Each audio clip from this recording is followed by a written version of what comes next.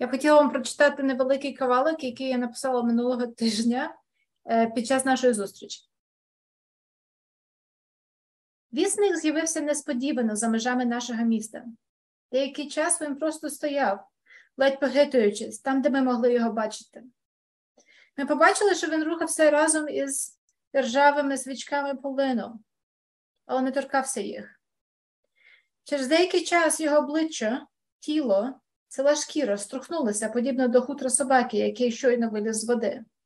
Семена полину м'яко відділилися від стебл і зависли на декілька секунд в повітрі. Що це означало? запитали ми себе. Пісник стояв, а гніді цятки сухого полину оберталися навколо нього, набираючи певної форми, видовженої, як мерехтливий кокон. Ця форма вібрувала. Що означає довгий із танцюючою шкірою, що означає завивання. Тоді вісник подивився прямо на нас. Ми відчули, як мури, земля під нашими ногами, форми і будівлі нашого міста змінюються.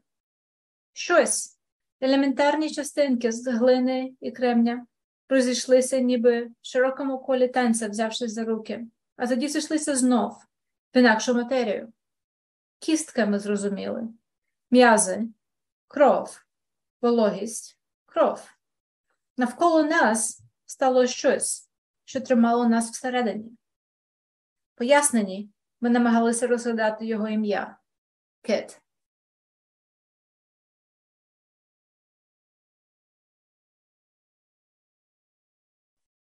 Тож дякую. Прошу, хто хоче наступити. Я так? Ага. Е, Невід'ємна частина буття. Мені більше не п'ять років. Я всюди її бачила. Коли падав додолу підручник, коли хтось е, голосно говорив, гримали двері. Навіть у сміху дітей, бо я також так сміялася 23 лютого, а потім я забула, як це як це, як це робити. Спочатку я трималася, бо мама, коли вибухали ракети, співала мені мою улюблену колискову, хоча я вже й не була дитиною. Тато відкривав консерви та розповідав смісні історії. Як йому моя бабуся казала, що консерви це найсмачніша трава. Бо Богдан давав мені улюбленого кролика та завжди посміхався. Вона вона злилася з моєю кров'ю, росла у шкіру, як наростень, який загнивав, і та гниль розпосудився у всьому тілу, тілу, як згадка про ті страшні травлені дні та могили, яких на нашому кладовищі ставало все більше. Вона стала моїм іншим я. Були часи, коли мені здавалося, що мене е, немає вже без неї. З часом вона вже не бачилася мені всюди, але вона жила поруч зі мною. Протягувала руки у снах, дивила сльозами на могилі на могилі землі, змушувала відводити очі, коли тільки хтось питав про, неї. Я не знала, що робити. Життя йшло вперед. Я стала е, е, знаменитою, наче наче не тою Ганною, який плять. Отримала е, премію Бабастят, але нікому не зізнавалася, що вона живе у мені. Одна людина побачила, як вона вчепилася у мене, стала невід'ємною частиною буття. Мені допомогли. Я приїхала на зустріч вперше після е, вручення нагороди. Е, там були люди, банкіри, дизайнери, торговці. Мені хотілося сховати очі. мене багато хто, знав. Я бачила, що що багатьом також хотілося це е, зробити. Е, мені здавалося, що все, що що зі мною відбувається, це норма. Це правда за те, що я вижила. Так всі, як я гадала, жили. Але якщо подумати, як всі жили, мені дали слово. Сказали, мовляв, тут багато хто соромиться. Попрохали спробувати. Я встала біля стільки. Е, я безліч е, е, разів так робила, але у мене підкошувалися ноги. Мене кинуло у жар, а потім у холод. Заплющила очі, зробила глибокий видих і сказала усім привіт. Мене звати Ганна, мені 25. Я відомий журналіст, і я жертва війни. Далі я не могла нічого казати, кудись поділося моє, моє красномовство. Сльози підступили до очей, та я та я швидко збігла зі сцени. Перед очима з'явилися картинки, вибухи, потрощені недалеко від тому будинку, похорони, інтернат. Я хотіла вже вибігти, не зустрічатися з нею по поглядами, але почула, як хтось ще вийшов на сцену та почав казати мені 30. Я вважав, що, що, що ця терапія це здирання хороший. Після війни у мене нічого не залишилося. Родини, коштів на життя. Я їду по заробітках, щоб не не, не зліхати з глузду. Став банкіром. А а банкіру не хочеш страждати. Я почала жити звичайним життям, але при цьому раз у тиждень збиралася на ось такі збори. Я все відкладала, тільки ну, потрапити туди. Я почала більше говорити. Багато хто соромився, але я відчула, що що не даремно що вивчилася на на, жур, на журналіста. Але тепер я маю говорити про те, що вже й сама може забула, воліла забути. Мої слова мали лікувати і мене, і їх. Я зустріла багато, багато гарних людей.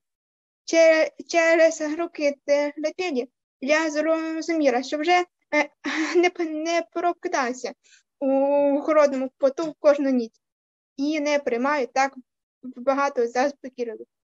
І я відчувала, що тепер вона вже налякала. Вона вона бувала, вона нищила із середини, а зараз вона історію змити усі буро-червоні плями мусить притопити погляд, відпустити свої крешні. І колись я сказала на зборах, я на я намагалася вчинити самогубство декілька років тому. Я випила заспокійливе та вино. Мене греть врятували. Завдяки цим зборам я багато чогось змінила. Я вже тільки іноді прокидаюся від, від кошмарів. Я з терпімістю говорю на ці теми, даю і не. Слова вже виходять з мене. Хоча після всіх моїх близьких, яких вже немає, я перестала розмовляти. Всі ми зібралися тут з, з однією метою переобороти те, що є частиною нас. Війна війна ніколи не покине нас. Вона вирілася у наші клітини, змішалася з кров'ю. Але ми можемо керувати тим, що є частиною нас, бо це тільки частина, це є минула. І всі ми будуємо нове суспільство, тому е, потрібно змінюватися самим. Мені шкода ту дівчинку, яка колись пережила те, що мала. пережити. Або, може, ми, ми все, все мали це пережити, щоб досягти чогось кращого, що ми робимо зараз. Я знаю, мені вже не 5 років. Війна, ти більше не моє буття. Дуже дякую. Прошу, Ганна. Мгм. Дякую дуже. Е, Якщо дозволите, два віршка. Один трошки більше, другий трошки менше. Отже, у місті, де сонце розбило голову об асфальт, просувається рожевий льодовик вулицями. Погідний світанок, мов на схилах лілових Альп чи хмар кучерявих, до яких би хотів доторкнутися. Е, Земля, як листочок на плесі, повисла без руху. Дим гіркий над водою високого скла на півсфери. Крізь мости до тебе усі не твої простягатимуть руки, із листів у нікуди, із брудного та бірного паперу. Що ж ти рвався сюди і не знав, що так важко померти кометою, що впало в маки ромашки й трави, у зілля, яке ти приносив на трійцю до церкви, правицею, якою ти ямку тримав, і поранений прапор. Павутинням прозорим розкреслені по білому грати, на вологій соломі, по підвальному чорному граві, потамовані спогади, розбиті вуста і гармати, і слова непритомні, настояні на спині криваті.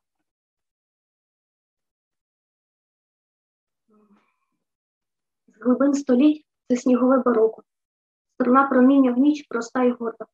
Нечутно долинає з новим роком. Хтось пляшку відкупорив, кров із горла. Ось привид дихання загострено прозорий. Дзвінки, як меч в скалі, різдвяне небо. Ідеш худий, посічений, мов нитка мойри, яку не розірве тепер ні твій, ні інший демон. Дякую.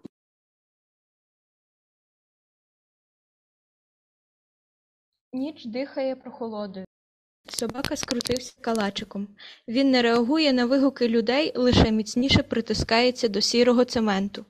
Біля собаки столик, за яким все частіше минають веселі сімейні вечори. На столі величезний оберемок гілок липи. Їх другий рік підряд приносить сусідський хлопчик, бо бабця взимку любить пити чай. Над головою бренять зірки, біля вух свистять комарі. Веранда, де діти любили зустрічати гостей і боялися побачити когось чужого, постаріла. Стільці, металевий рогатий вішак і взуття, яке наче, яке наче знімали в момент бігу, гуцульський килим на підлозі.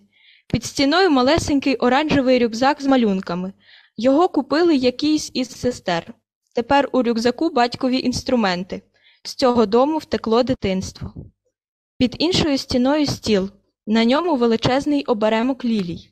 Їхній запах різкий, але приємний. Батько ще вдень вирішив, що вони таки смердять. Хтось дав йому букет минулого ранку. Сусідка, яка постійно, якій постійно треба щось запитати, винесла вердикт викинути ті лілії, бо це квіти смерті. Пелюстки від спеки та сільської втоми закриваються. 30 червня вона вперше не змогла підвести з ліжка. Плаче, боїться і питає, чи це вже все. Батько заспокоює. Ма, сили в тебе нема, бо не їси. По кусочку отак попробуй і зможеш ходити. На секунду вона відволікається на кішку, яка стрибає у кімнату через вікно. О четвертій ночі всю сім'ю будить стукіт ходунців. Ба, ура, бачиш, у тебе вийшло, ти йдеш. гукає втішена маленька онучка. Ба плаче. Сьомої ранку жінка сидить на порозі, і маленькі песики спираються до її немічних ніг. Вона хоче розповісти, але боїться, бо пізно. Інші не хочуть нічого запитувати, щоб не посилити її передчуттів. Але ще страшніше не встигнути. Ба завжди відмовчувалась, навіть про своїх батьків. Говорила коротко. Мати була найкраща. Померла у 83, як оце мені скоро буде. Батька вивезли. Десь у Сибіру й остався, нічого не знаю. Дід Микола, чоловік ба, помер 18 років тому. Вона рідко про нього згадувала, лише якось зітхнула, що заміж не хотіла, а треба було. Всередині липня ба почала марити ночами. Вона просила накрити ковдрою їй ноги, перевернути на інший бік, плакала і благала зробити щось, щоб не дати їй померти. Щосили чіплялась за життя і вибачалась перед батьком. Ма, ти що? Та все ж добре, тобі стане скоро ліпше, переконував він її. Ба крізь сон кликала когось сім'ї, онучок, сина, невістку чи давно померлого чоловіка. Ми тут, постійно казали вони. Ба тримає в руках нові куплені кухонні рушники, розглядає їх. Її голос важко впізнати. Зрештою, руки й обличчя теж. Я плачу і збираю в садку абрикоси. Ще ніколи так не родили. Мама, моя мама впевнена у причині. Поралась перед хатою весною. Думаю, якщо не вродять і цей рік, то всіх позрубую. І бачиш, як обліплені вродили. Кидаю у металеву посудину абрикоси. Через відчинене вікно ба важко дихає. Ніхто не спав вночі 22 липня. Ба всю ніч говорила. Перестала розум... Я перестала розуміти її мову. Вона кликала до шостої ранку. Її кімната має такий вигляд, наче вона досі тут. У шафі скарби, шиття, книги, недоплетені шкарпетки. Серед всього фотографії, серед всього фотографії, або, як завжди казала ба, карточки. Вони загорнуті у вицвілу червону хустку і зв'язані на два гузлики, ще її руками. Чи це злочинно їх розв'язати? На цих чорно-білих фото майже всі мертві. Я хочу знати, ким була ба, але ще не знаю, що, попри все, я насправді встигла. Ба допоможе мені.